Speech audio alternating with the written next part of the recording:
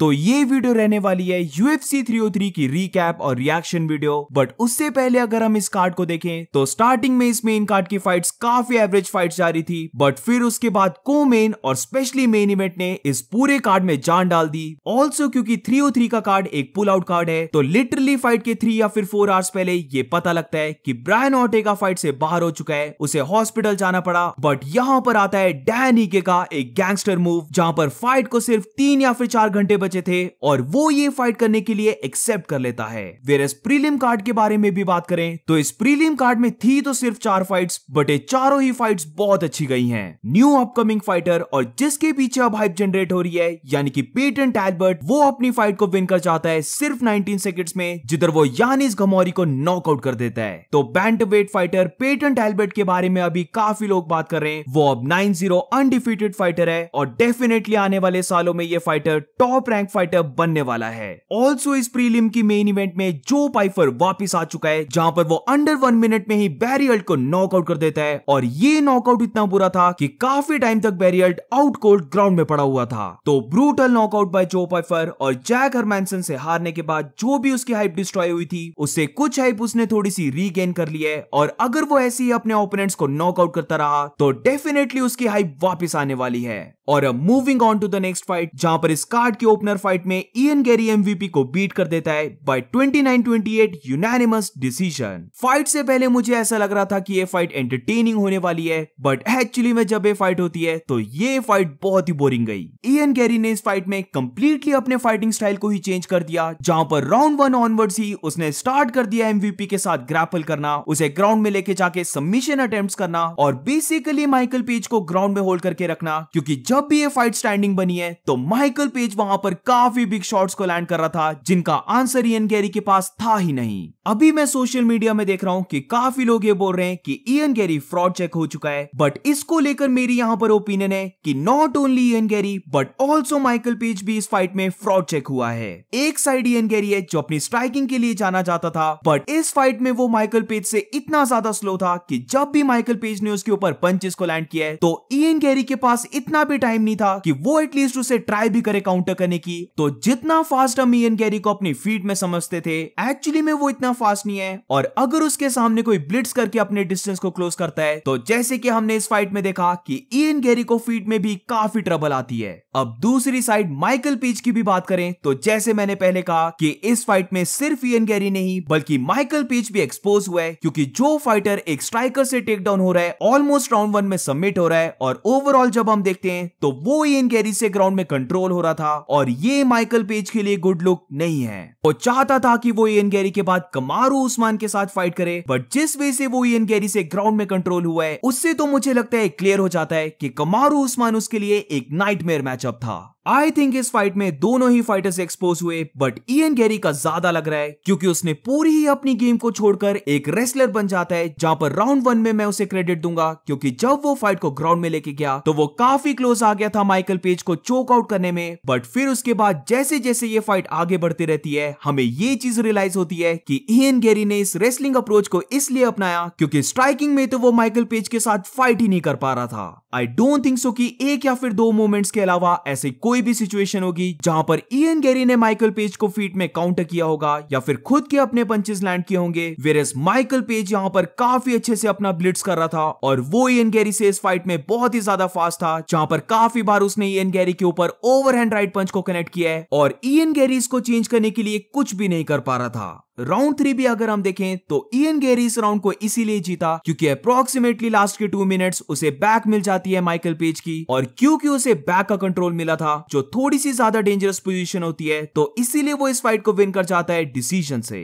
But of course मेरी opinion में ये फाइट बहुत ही ज़्यादा बोरिंग गई है, जहाँ पर moving on to the next fight तो ये फाइट थी विमेंस बैंटवेट डिवीज़न की, जिधर Macy Chiasson Mayra Bueno Silva को बीट कर देती है ड्यू टू डॉक्टर स्टॉपेज इन दोनों फीमेल फाइटर्स के बीच में फाइट एक्चुअली में काफ़ी अच्छी जा रही थी, जहाँ पर दोनों फाइटर्स बैक एंड फोर्थ एक दूसरे को पंचेस थ्रो कर रहे थे। जिधर हम देख सकते थे कि मेसी थोड़ी सी टेक्निकल है वेरेस हमेशा की तरह मायरा ब्यूनो सिल्वा ट्राई कर रही थी कि वो मेसी के ऊपर बिग पंचेस को लैंड करे और काइंड ऑफ़ इस फाइट को एक डर्टी फाइट बनाए, यानी कि ब्रॉल फाइट बनाए। और वैसे राउंड वन में ये वर्क भी किया, जिधर वो ज़्यादा बिग पंचेस को थ्रो कर रही थी और मेसी वहाँ पर मोस्टली देख रही थी कि वो अपने जैब को स्टैब्लिश करे और मायरा सिल्वा को अंदर आते हुए काउंटर करे। बट अनफॉर्चुनेटली ये फाइट कंप्लीट नहीं हो पाई, जहाँ पर राउंड टू में मेसी मायरा को ग्राउंड में लेके जाती है और वहाँ से वो बहुत ही बिग एल्बो को थ्रो करती है, जिसकी वजह से मायरा बिनो सिल्वा के राइट आई के ऊपर एक बहुत ही बिग कट ओपन हो जाता है, जिधर डॉक्टर इस कट को देखने के बाद ये बोलता है कि ये कट बहुत ही डीप कट है ब्लड इससे निकलना बंद नहीं होगा, और जब रेफरी को डिसीज़न लेने की बात आती है तो वो इस फाइट को ओवर कर देता है। तो अनफॉर्चुनेटली हम इस फाइट को पूरा नहीं देख पाए, क्योंकि ये फाइट मुझे थोड़ी सी एंटरटेनिंग फाइट लग रही थी but anyways due to doctor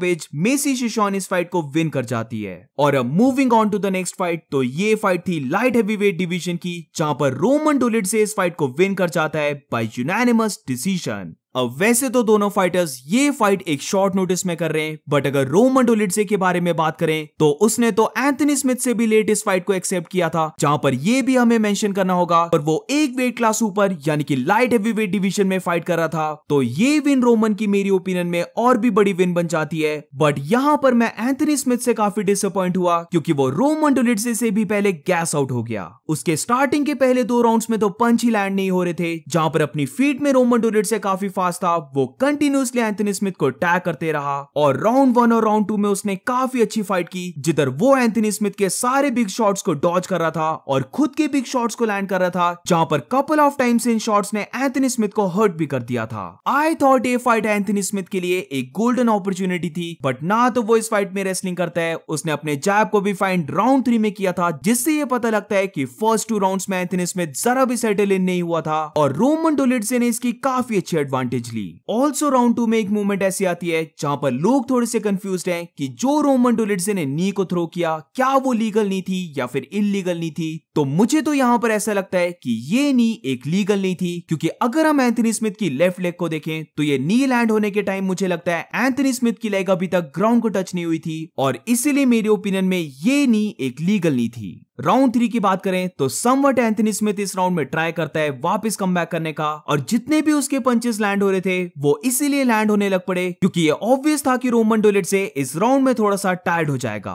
but still इस राउंड में भी रोमन डोलिट ने काफ़ी अच्छे पंचेस को लैंड किया है और इसीलिए ओवरऑल इस फाइट को वो विन कर जाता है बाय यूनानिमस डिसीज़न जहाँ पर अब उसके पास दो ऑप्शन आ चुके हैं, जिधर वो top ten middle weight division में भी फाइट कर सकता है and top ten light heavy weight division में भी अब फाइट कर सकता है। बट ओवरऑल अगर इस फाइट की बात करें तो ये फाइट मेरी ओपिनियन में एक काफ़ी एवरेज फाइट थी, जहाँ पर moving on to the next fight तो ये फाइट थी को मेन इवेंट की, जहाँ पर फाइनली हमें एक एंटरटेनिंग फाइट देखने को मिलती है, जिधर डिएगो लोपेज इस फाइट को विन कर जाता है बाय यूनानिमस डिसीज़न तो डिएगो लोपेज वर्सेस डैनिकी की फाइट एक कैच वेट फाइट में होती है, जहाँ पर 145 की जगह ये फाइट होती है 165 पाउंड्स में। तो दोनों ही फाइटर्स को ह्यूज रिस्पेक्ट जहाँ पर अब अगर हम फाइट के बारे में बात करें तो ये फाइट काफ़ी एंटरटेनिंग और बैक एंड फोर्थ फाइट रही है स्पेशली अगर राउंड थ्री के बारे में बात करें, जहाँ पर डिएगो लोपेज इस राउंड में टायर्ड हो गया था, वो फेड आउट होने लग पड़ा। वेर एस डैनिकी के पॉइंट ऑफ़ व्यू से देखें तो ये राउंड उसके लिए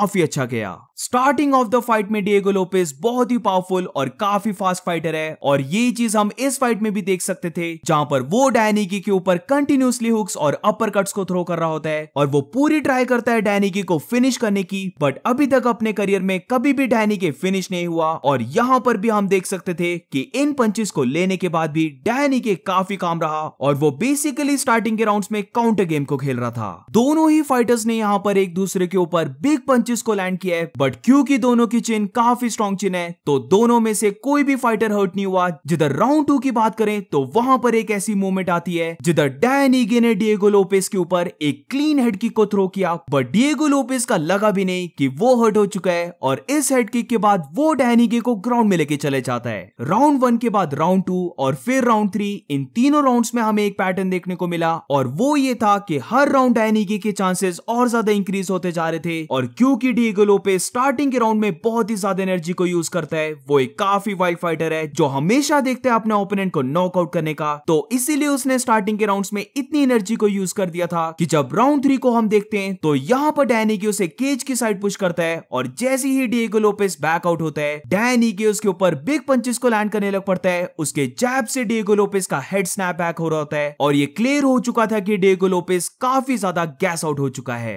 अगर तो यहाँ पर डैनी के और ज़्यादा हैवी शॉट्स को थ्रो करता तो ये फाइट ओवर भी हो सकती थी। बट राउंड थ्री के last couple of minutes ground में जाते हैं, जहाँ पर डिएगो लोपेस बेसिकली सर्वाइव करने का देखता है, और इसीलिए ओवरऑल वो इस फाइट को विन कर जाता है बाय यूनानिमस डिसीज़न और moving on to the next fight तो ये फाइट थी मेन इवेंट फाइट जहाँ पर Alex Pereira light heavyweight belt को रिटेन करता है यरी प्रोहास्का को नॉकआउट करके। काफ़ी insane win by Alex Pereira उसने end of the round one में यरी प्रोहास्का को बुरी तरीके से हर्ट कर दिया था, और मुझे नहीं लगता कि ये लेफ़्ट टुक लेने के बाद यरी प्रोहास्का 100% रिकवर हो पाया था, जहाँ पर राउंड टू के पाँच ही सेकंड्स में एलेक्स परेरा एकदम से स्विच करके हेड किक को थ्रो करता है, और ये हेड किक इतनी फास्ट थी कि यरी प्रोहास्का अपने गार्ड को ऊपर नहीं लेके आ पाया, जहाँ पर ये हेड किक लेने के बाद वो ड्रॉप डाउन हो जाता है, और थोड़े से ग्राउंड एंड पाउंड पंचेस के बाद रेफरी इस फाइट को स्टॉप कर देता है, जहाँ पर स्टिल लाइट हेवीवेट डिवीज़न का चैंपियन एलेक्स परेरा बनता है। मैं जरा भी किसी से नहीं सुनना चाहता कि एलेक्स ने कोई मैजिक को यूज़ किया है, ये कंप्लीट एक क्लीन फाइट थी, जहाँ पर राउंड वन के ही स्टार्टिंग से हम देख सकते थे कि एलेक्स परेरा थोड़ा सा ज़्यादा पावर को यूज़ कर रहा है, वो ज़्यादा पंचेस को भी थ्रो कर रहा है और इस बार वो यीरी प्रोहास्का के प्रेशर से इतना ज़्यादा बैक डाउन भी नहीं हो रहा था। इवन जब एलेक्स परेरा यीरी के प्रेशर से बैक डाउन भी हुआ तो वहाँ पर भी एलेक्स परेरा ने काफ़ी बिग पंचेस को स्विंग किया है, जहाँ पर mid of the round one में एक मूवमेंट ऐसी आती है, जिधर वो यीरी प्रोहास्को को क्लीन कैच करता है अपने हुक से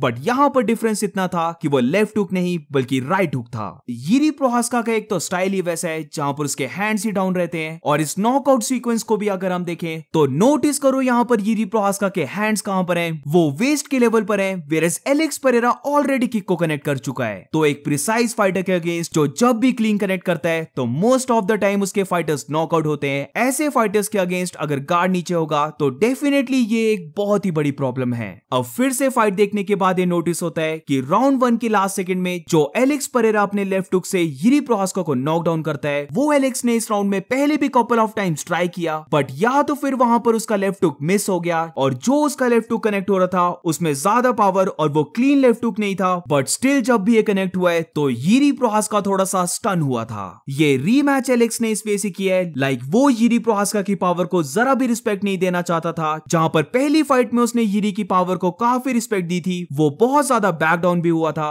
और इसीलिए यरी प्रोहास्का अपने पंचेस को ज़्यादा कनेक्ट कर रहा था। बट इस रीमैच के बारे में बात करें तो यहाँ पर एलेक्स परेरा यरी की पावर को कोई भी रिस्पेक्ट नहीं देता है। और जब भी यरी प्रोहास्का कुछ थ्रो कर रहा था तो ऐसा लग रहा था कि एलेक्स परेरा बिल्कुल ही अनफेस्ड है। एलेक्स परेरा जो अपने लेफ़्ट हैंड से jab to the body throw करता है, वो स्ट्राइक मुझे काफ़ी अंडर एस्टिमेटेड लगती है, क्योंकि ज़्यादा लोग इस पंच के बारे में बात नहीं करते हैं। बट एक्चुअली में जब हम देखें तो पहले एलेक्स परेरा अपने लेफ़्ट से बॉडी पर जाता है, और इन पंचेस को ब्लॉक करने के लिए जैसे ही ओपोनेंट्स के हैंड थोड़े से डाउन जाते हैं तो फिर कुछ टाइम के बाद इसी पंच को एलेक्स परेरा लेफ़्ट हुक में कन्वर्ट करता है। और फिर ये पंच जैसे हमने शॉन स्ट्रिकलैंड की फाइट में देखा, इस फाइट में भी हम समवट राउंड वन में ये देख सकते थे, जैसे वो यीरी प्रोहास्का की बॉडी को टारगेट करने लग पड़ा तो फिर राउंड वन के एंड में ऐसी मूवमेंट आती है, जहाँ पर यही लेफ़्ट हुक उसका क्लीन लैंड होता है यीरी प्रोहास्का के ऊपर, और यीरी प्रोहास्का नॉकडाउन हो जाता है। इनफैक्ट ऊपर से हमें इस फाइट में एलेक्स परेरा का थोड़ा सा क्लिंच वर्क भी देखने को मिलता है, जहाँ पर पहली फाइट से सीखने के बाद वो इस बार काफ़ी अच्छे वे से अपने आप को केज के साइड से डिफेंड करता है और इस बार वो यीरी प्रोहास्का को टेक डाउन करने नहीं देता है। तो ओवरऑल भी एलेक्स परेरा ने ये फाइट पहली फाइट के कंपैरिजन में बहुत ही अच्छी की है, जहाँ पर काफ़ी लोग ये भूल चुके थे कि not only left hook but क्योंकि एलेक्स परेरा किक बॉक्सर भी है तो वो अपनी नीज या फिर किक से भी ओपोनेंट को फिनिश कर सकता है और यहाँ पर फाइट में हमने यही देखा। तो राइट नाउ अभी अगर हम देखें तो ऐसा लग रहा है एलेक्स परेरा अनस्टॉपेबल फाइटर है। वो अपनी हर एक लाइट हैवी वेट फाइट से और भी ज़्यादा इंप्रूव हो रहा है और ऐसे फाइटर्स हम बहुत ही कम देखते हैं, जो एकदम से यूएफसी में आने के बाद इतना ज़्यादा कुछ अचीव कर जाते हैं। और एलेक्स परेरा भी यहाँ पर शॉर्ट पीरियड ऑफ़ टाइम में ही यूएफसी का लेजेंड बन चुका है। तो पहले ओवरऑल ये कार्ड बहुत ही बोरिंग बन रहा था बट फिर को मेन इवेंट और स्पेशली मेन इवेंट ने जो डिलीवर किया है, वो देखने के बाद मैं इस कार्ड की ज़्यादा बुराई नहीं करूँगा।